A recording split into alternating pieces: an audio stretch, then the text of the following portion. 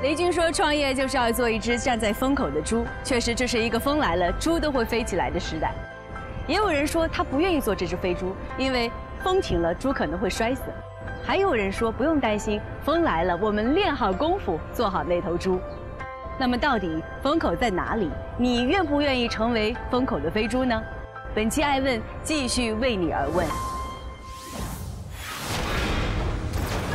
如果创业是一次不知终点的征程，如果创业是一场九死一生的冒险，谁愿意同舟共济、肝胆相照，与您一路前行、不离不弃？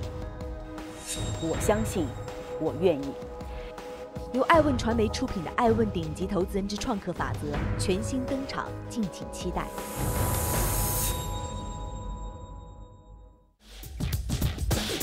台风来了，站在风口上，猪都能飞起来。小米科技创始人雷军，二零一三年在中国企业领袖年会上的这句话，成为创业圈中一时最为时髦的流行语。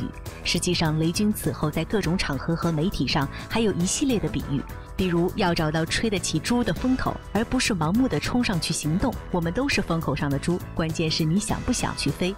猪没有翅膀，即使被台风吹起来了，那飞翔也只是暂时的，结果一定会掉下来等等。但是对于创业者而言，风口已经成为创业中不可回避的关键词。创业的风口究竟是什么？带着这个问题，我也多次向雷军先生的团队求证答案。几经探讨之后，我与雷军系的操盘手许达来先生坐到了一起。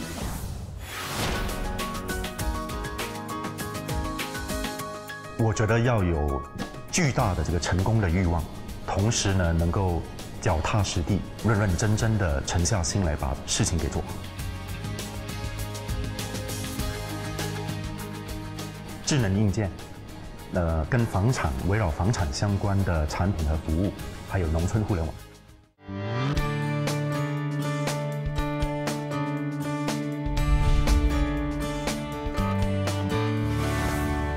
您本人跟雷军是什么样的工作关系？顺为资本和小米是个什么样的工作关系？在顺为里头，我们是搭档。嗯，那那个呃，所有的公司的重大决策，嗯，我们俩要有共识。雷军先生说过一句话：“创业就要坐在风口上的这只猪。”所以业内也经常会拿风口论，呃，来作为创业的一个标准。那到底什么是风口啊？它是用一个比较有趣的一个描述。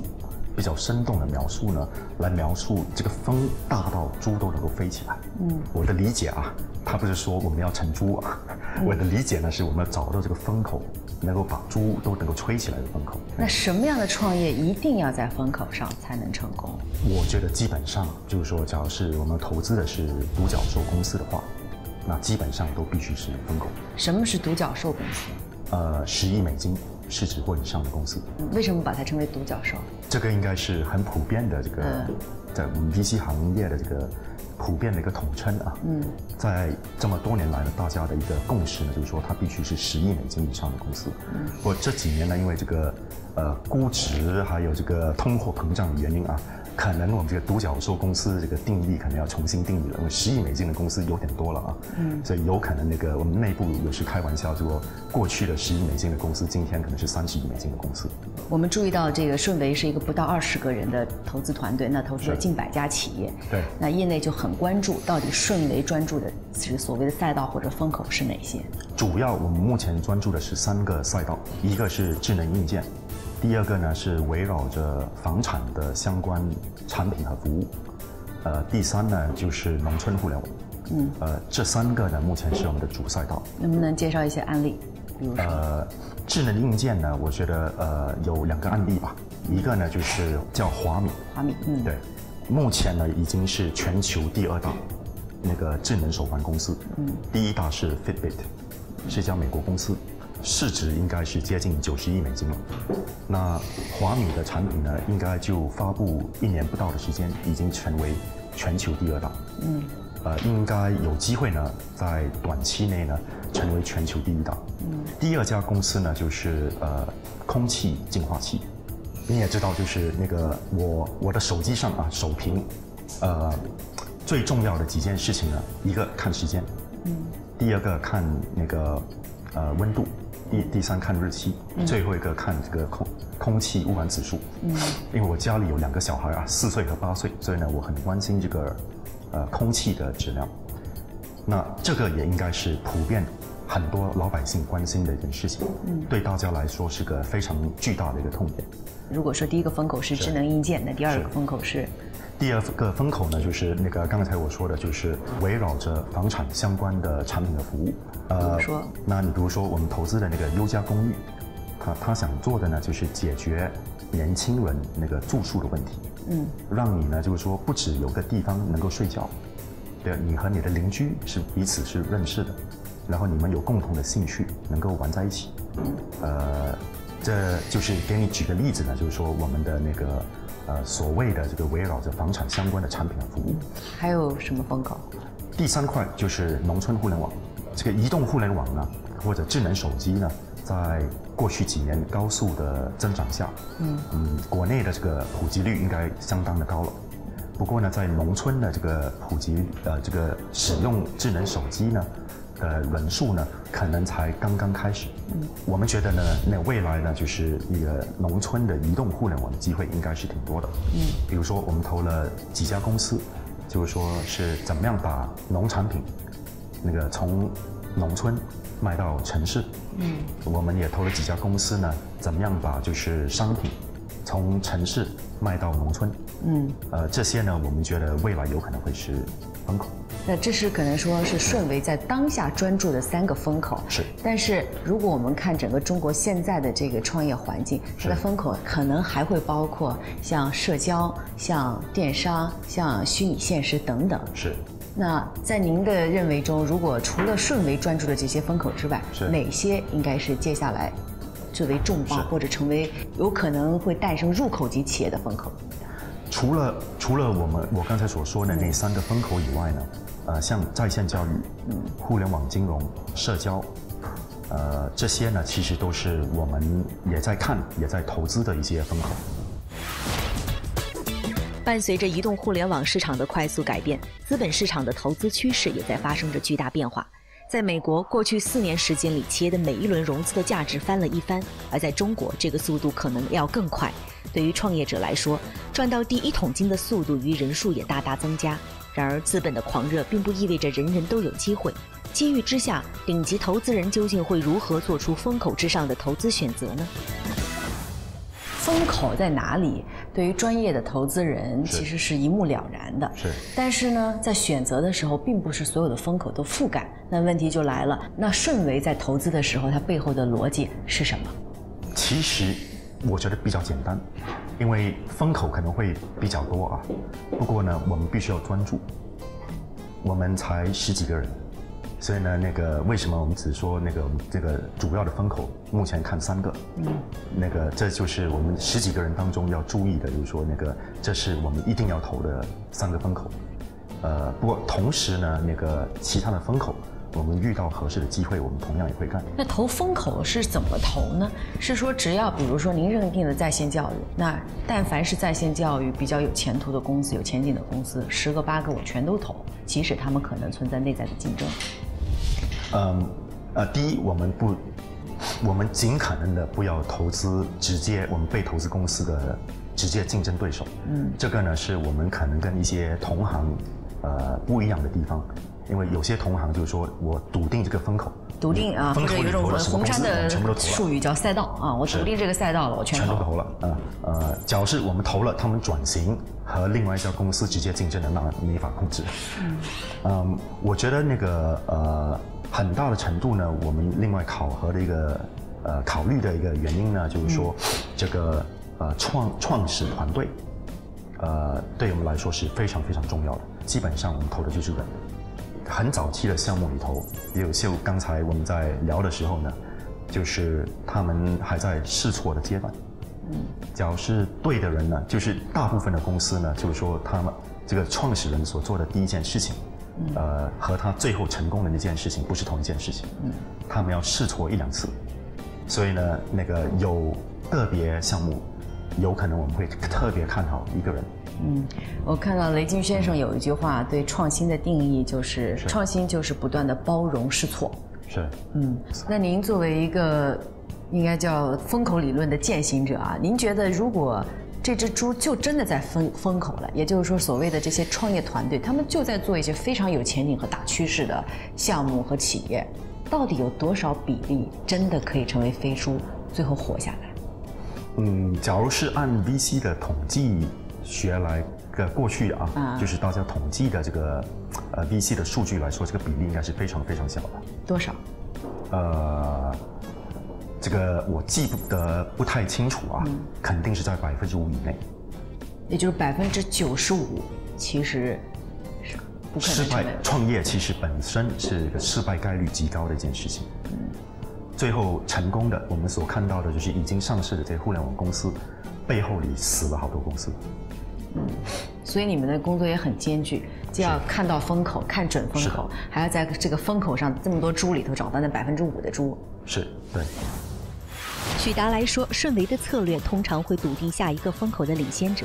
对于创业者来说，该如何判断自己的项目是否可能成为风口上的那只飞猪呢？对于日新月异的创业创新，顶级投资人又会如何判断风口的方向呢？风口太多，大家都说这个红杉是一个投赛道，因为在零八年之前，我们看到投的很多项目有大众啊、高德啊、奇虎啊、网信，当然固然好，没有看到一个明显的赛道的痕迹，也就是没有明显的这个区域分领啊。但是零八年之后，好像投了这个呃乐风之后，但我我您可以反驳我啊，这是我的观察。零八年投了乐风之后，就能看到明显的，比如确定在电商、旅游、O2O、垂直社区和互联网金融等等领域，这是你们专注的、正在专注的赛道吗？但主要的这个时机还是在这个电商这上面。那电商又会有些变化，在过去的五年、八年，可能都是叫淘宝、京东这样叫实物电商的这个这个叫完完善化。原来有沟通平台，呃，有啊、支付的支付的这样的一个基础成长起来，有物流的基础成四通一达成长起来。OK，你你好像你你做点一下货就送上来了，很轻松。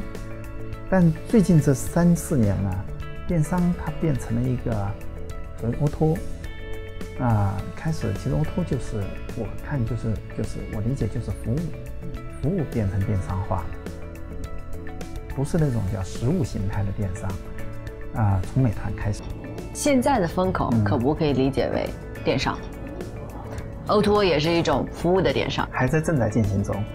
呃，还有一个方向呢，就是就是往，因为电商的演变会会不光停留在这个，刚才我们谈的所有的都是 to C 的这个环节，电商会在各个环节，互联网作为一种工具哈、嗯，我我把它理解成一种叫交通，呃，它是它是一种交叫叫它是一种呃运输方式哈、那你还能预测吗？再往前走，电商或者是电商的下一步是什么？因为呃，电商它其实是把呃，就是参与交易的这些主体都把它它的前提是他们都数据化，它就会产生另外一个另外一个效率。啊、比方说数据化比较好的，你可以看到数据实时数据最比较好的是、嗯是金融，嗯，你可以看到这种一个动作，各种叫广度和速速度，其实你像股市是一个非常互联网金融非常鲜明的啊。对。但是有哪些风口我们不能忽视呢？比如说虚拟现实，比如说这种众筹、移动医疗、在线教育等等，就是会是您看好的风口吗？像智能设备吧，嗯像这块，手机是第一个智能设备，嗯它是一个入口，但是你把它外延，什么什么东西都会被网络化，就变成一个网络设备的时候，就所有的东西它都变成一个数据终端，就是网络的终端。你今天这个这台设备，实际上它应该是个网络终端，嗯它跟我的我的这个 WiFi 或者什么，它是实时上网的，对吧？已经疯了，似乎网龄超过五年，年龄低于三十，认字三千左右，英语四六级上下，知道 KK。出入过媒体、互联网和广告公司的朋友们都创业了，弄潮了，跟天使投资人喝咖啡了。今年二月，旁观创业者生活的作家蒋方舟写下了他的困惑。空气中飘满了钱的味道，创业者们为了一个个有可能存在的风口奔跑雀跃，创业公司们也用数字不断刷新着未来财富值。然而，反思潮也在浮躁的互联网圈掀起，风口之上的项目也同样死了一大批。百度创始人李彦宏曾说：“风口飞猪论充满了创业投机色彩。”对深入各行业的风口，顶级投资人熊小哥也有着他的反思。我们也很有幸也投了这个雷军的这个小米哈，那个是这样子的，我觉得他讲的非常的对，有这个风口吹起来，但是呢，我觉得呢。但是雷军自己，雷军同志也是经了很多年的这个积累，才早碰到这个风口的，是不是这样子？所以这风口也不是风口的话，嗯，要碰到的话，他有很多的那个积累，不是说他今天就运气好就撞上了，对吧？但是作为投资者来讲的话呢，你不能说等着像投机似的每天在那等着，所以说呢，你要寻找这样的一个人。因为恰巧这个李彦宏就说了，说雷军这个风口论，什么风口来了猪也会飞，非常不好，因为有投机思维。没错。所以在这点上，我不太同意这一点。所以我也经常在说，我说我希望是能够撞上这个风口，那么但是同时呢，还得根深才能叶茂。就我去，我愿意看到的不是猪，而是看到的是一种树，它能够根深叶茂。风来了以后也一样，在那个地方呢，还跟它提供更好的那种服务，只是说呢，让它传得更远。这种风使它的。你说是杨树也好，或者哪种树也好，它把它的果实能够传到全世界，这才是好的树。我就觉得我愿意做头一个公司呢，在一个风口上的树，能够把它的果实呢，随着这股风传到更多的人，让更多人得到这种服务，这可能是我的想法。创业的风口是什么？顶级投资人许达来、周奎、熊小哥给你这样建议：一，独角兽公司更适合做风口上的创业；二。智能硬件围绕着房产相关的产品服务，农村互联网是顺为资本重点关注的三个风口。三、新技术的不断发展与扩张，让风口向各行业蔓延。四、撞上风口不要急于做飞猪，需要做大树。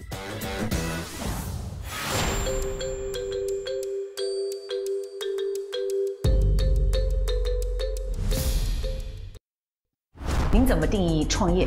我个人呢，觉得创业其实是个非常伟大的事情。你怎么定义投资？投资，我经常内部把投资描述成结婚找对象。作为一个投资人，你最大的焦虑是什么？最大的焦虑就是我们的被投资公司的创始人，在关键的时间点没做对的决策，嗯，呃，自信心膨胀，或者就是说，在这个重大决策的时候，没有从战略高度来思考问题。嗯，那如果把你现在的投资事业比作一座山峰，您觉得在什么阶段了？我觉得还在初期的爬升期。那你观察众多的创业者，在什么样的节点他们最容易失败？自信心膨胀的时候。投资对你而言是最快乐的事情。呃，是的。不过呢，它是也是一个有酸甜苦辣的事情，跟结婚一样的。这是一个全民创业的时代。是。但是创业是九死一生。是。如果要走到最后，可能要少一些急功近利，多一些智慧和敬畏。您能否跟这些众多的创业者说一句话？我希望大家呢，在今天应该是非常那个好的创业时代。政府也在鼓励，所以呢，我觉得今天的创业环境是巨好的，大家要把握好创业的这个机会。不过呢，同时也要有敬畏之心，呃，不要因为创业而创业，要对自己所做的事情要有信仰。公司发展的最顺的时候，呃，反而要居安思危。我们有没有什么风险，我们要时时的记住。